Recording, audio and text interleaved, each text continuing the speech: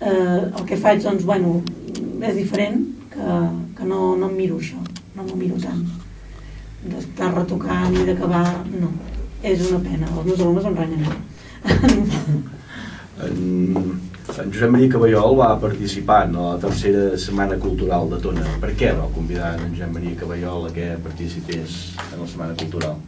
Buscava una persona que tingués molta, bueno, molt, um, diguem, molta professionalitat, que tingués nivell, que tingués bagatge, que hagués viatjat. M'agrada una persona doncs, que, que estigués dintre del món de, la, de pintar cada dia, però que també els pogués passar als alumnes doncs, una, una part de, de venda. I vaig trobar un Josep Maria Caballol que té per mi molt nivell i, i és una persona que de seguida em va despertar molt, molt bona impressió. Llavors què va fer-hi?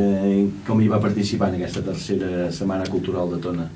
Ell va, portar, va venir, eh, el taller durava 9 hores, eh, era repartit en dos dies, i va, eh, va venir, eh, els va explicar una mica els seus coneixements, els seus eh, petits secrets, que això és molt difícil en un artista, d'un bon nivell, és complicat que et diguin sincerament eh, què fan per pintar, i a partir d'aquí ja ells van començar una obra pròpia, durant 9 hores.